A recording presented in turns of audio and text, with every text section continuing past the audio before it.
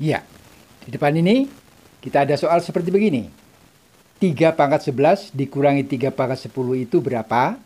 Diberikan 4 alternatif jawab yaitu A 3, B 3 pangkat 10, C 2 kali 3 pangkat 10, D 3 kali 3 pangkat 10. Nah, tetapi sebelum kita lanjut, bagi Anda yang baru bergabung dengan channel ini, tidak perlu ragu-ragu. Anda suka, silahkan subscribe, like, dan saya diberi komentar. Untuk itu saya mengucapkan banyak-banyak terima kasih. Ya, mari kita mulai. 3 pangkat 11 dikurangi 3 pangkat 10. Sekali lagi, diberikan 4 alternatif jawab, yaitu A3, B3 pangkat 10, C 2 kali 3 pangkat 10 dan D 3 kali 3 pangkat 10. Nah, menarik ya. Ya. Supaya tidak penasaran, ayo kita tonton sampai habis dan ini menjadikan tambahan kita pengetahuan. Oke, kita mulai. 3 pangkat 11 dikurangi 3 pangkat 10, ini akan Pak In ubah sebagai begini. Kalau 3 pangkat 11 itu kan 3 pangkat 10 ditambah 1. Ya kan? 11 ini 10 ditambah 1. Sesudah itu kita tulis ini minus 3 pangkat 10. Nah ini ya 3 pangkat 10, 3 pangkat 11 itu kita ubah menjadi 3 pangkat 10 ditambah 1. Kemudian minus 3 pangkat 10. Kita tulis 3 pangkat 10. Kemudian kita lanjutkan.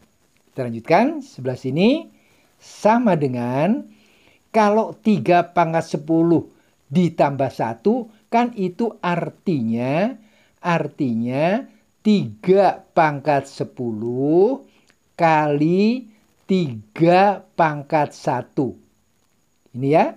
Karena kalau dikalikan itu pangkatnya dijumlahkan asal bilangan basisnya sama. Jadi 3 pangkat 10 ditambah 1 pangkatnya yang 10 ditambah 1 ini sama dengan 3 pangkat 10 kali 3 pangkat 1. Ini kemudian minus 3 pangkat 10. Ya, begitu. Oke ya, kita lanjutkan. Kemudian sama dengan dari sini ya, 3 pangkat 10 kali 3 pangkat 1 dikurangi 3 pangkat 10. Ini ada faktor sekutunya. Faktor sekutunya yang mana? Faktor sekutunya adalah 3 pangkat 10. Di sini ada unsur 3 pangkat 10. Di sini 3 pangkat 10. Jadi kita keluarkan 3 pangkat 10-nya. 3 pangkat 10 yang tinggal di dalam kurung itu adalah 3 pangkat 1, 3 pangkat 1 ini, kemudian minus 3 pangkat 10, di, sudah dikeluarkan 3 pangkat 10 ya, minus 1. Begitu ya. Jadi ini minus 1. Nah, kemudian kita akan lanjutkan bagaimana? Kita lanjutkan begini sama dengan 3 pangkat 10. 3 pangkat 10, kemudian 3 pangkat 1 itu adalah 3 dikurangi 1. Gitu ya.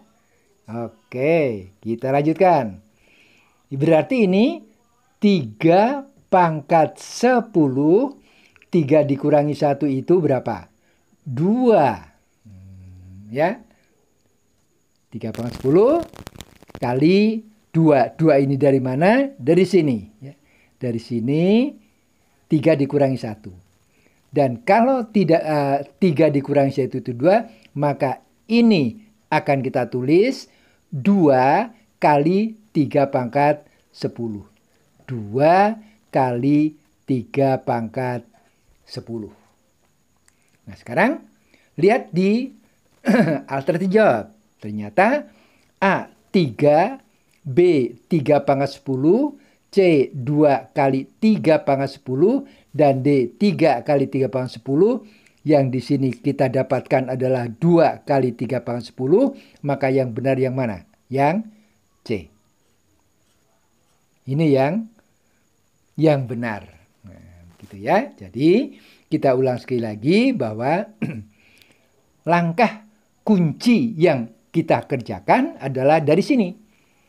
3 pangkat 11 kita ubah menjadi 3 pangkat 10 ditambah 1. 10 di pangkat 1 itu dari 11 ini. Kemudian 3 pangkat 10. Di sini ada faktor sekutu. Masing-masing punya 3 pangkat 10. Nah, 3 pangkat 10 kali 3 pangkat 1 itu dari 3 pangkat 10 plus 1. 3 pangkat 10 plus 1 itu sama dengan 3 pangkat 10 kali 3 pangkat 1. Jadi kalau dikalikan pangkatnya dijumlahkan. Sekarang di sini kita sama-sama punya faktor sekutu 3 pangkat 10. Kita keluarkan 3 pangkat 10 yang ada tinggal 3 pangkat 1 dan 1. Kemudian 3 dikurangi 1 itu 2. Kita tulis ke bentuk lain menjadi 2 kali 3 pangkat 10.